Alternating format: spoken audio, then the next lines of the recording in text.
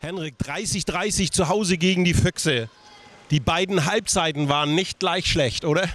Nee, wir haben besonders äh, Riesenprobleme in der ersten Halbzeit. Wir waren natürlich nicht zufrieden mit der ersten Halbzeit und äh, vier Tore hinten. Das kann man natürlich schaffen im Spiel und wir hatten gute Leistung ge gezeigt im zweiten Halbzeit gekämpft und äh, das reicht nur für einen Punkt heute und äh, wenn wir spielen zu Hause ist das äh, nicht genug. Wir wollen das Spiel, Spiel äh, gewinnen natürlich, aber das war besonders äh, erste Halbzeit wie war ein bisschen problematisch. Und dann war es ein bisschen Showdown hier. Die Zuschauer haben gesagt, das war äh, hammerspannend zum Schluss. Wie hast du die letzten Minuten erlebt?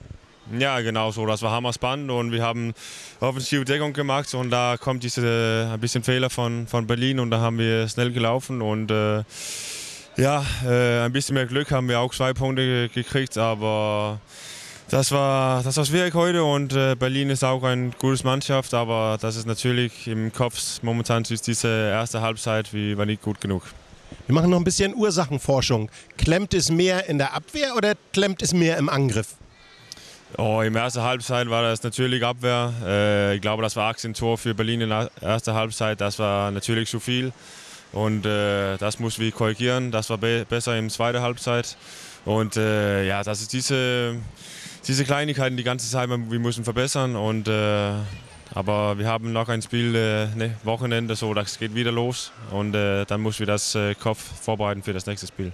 Du sprichst es an, es geht nach Westbrem.